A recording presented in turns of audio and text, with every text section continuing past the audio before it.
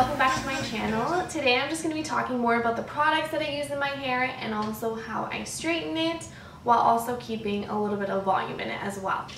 So if you want to see how I get my hair like this, keep watching. Okay, so this is what my hair usually looks like when I get out of the shower. Um, it's straight, um, not really that much volume or anything like that. Um, so I'm going to show you what the products that I use to get voluminous hair even when I'm doing straight hair. I don't like my hair being flat. Um, so what I did is in the shower I used like I said the horse shampoo mane and tail. I used only the shampoo because I just got my hair done the other day and I put a treatment in. It's called the Redken pH Bonder Post Service. I use this before shampoo. Um, what this helps is with the color. Um, it helps maintain its natural pH.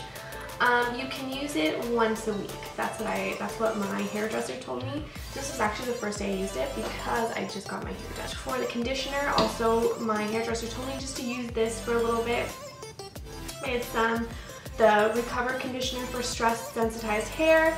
Um, so this is it, and it smells really good. I really like it so far. This is my first day using it just because I just got it. Next that we're gonna do is I'm going to put some olive oil, Evo Light Leave-In Conditioner. It smells really good.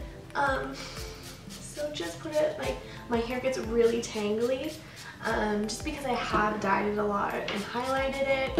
Um, so this helps. The next thing I'm going to do is use the Marc Anthony Strengthening Grow Long Leave-In Super Fast Leave-In um, Spray. Um, just helps make your hair grow, helps to repair break end, and I just really like it and it smells really good and it's a leave-in. So the next thing is mousse. I use the Big and Sexy Mousse, which is great.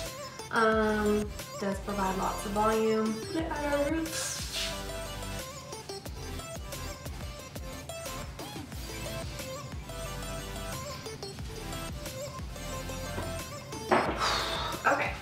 Next, I'm gonna take your brush. I used to use this as like a microphone. Anyways, um, we're gonna take your brush and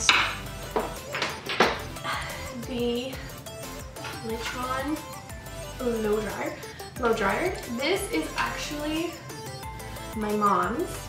So mom, if you're looking for your blow dryer, I have it, but it's great. And um, it works really well. She actually won it as a, I think she won it as a prize.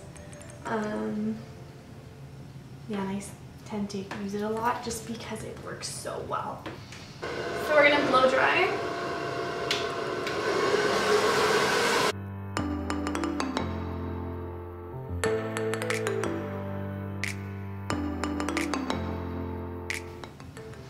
Mm, okay, so after your hair looks puffy like this, we're gonna go in with a straightener.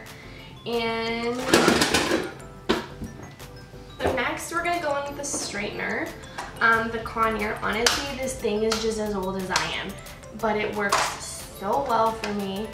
It's super old and I love it and I don't want to ever get rid of it. It's just great. And then I just divide the hair up.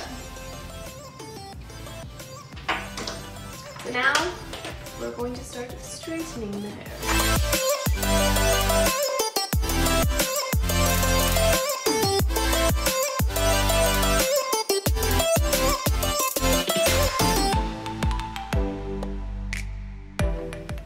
The reason why sometimes I do straighten my hair in big chunks is just because my hair is so thick that if I would do it in little ones, it would just take too long.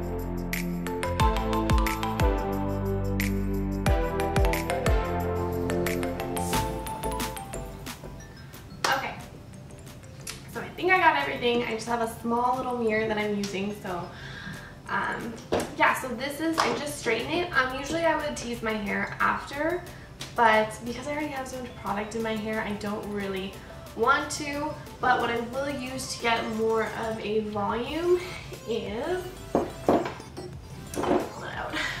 the Gotta Be powder, which I've shown before in my other video that I really like. I always use this stuff and I bought so many of them. Um, yeah, so the Got To Be. Put some on my hands. And you just have to be careful because it does, the powder does come out really white. So you just have to really get it in there. What it does is it just provides more volume. Um, put some back here. Oh, and one thing I forgot to mention, usually before putting the straightening iron and the blow dryer, I usually put a heat protector, spray it in my hair, but unfortunately I lost it. So today, but I usually do that every time, I'm just going to use my new hairspray that I have. I usually would just use the Garnier Fructis, the big volume. Um, I do like it and I usually do use the mousse, but I just ran out. So when I went out, I thought I bought the Big & Sexy mousse, but I didn't. I bought the hairspray. So I would just spray like a little bit.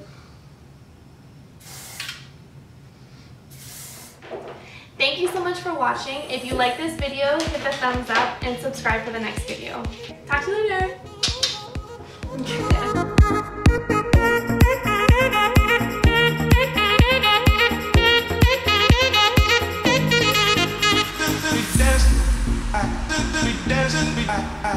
we we.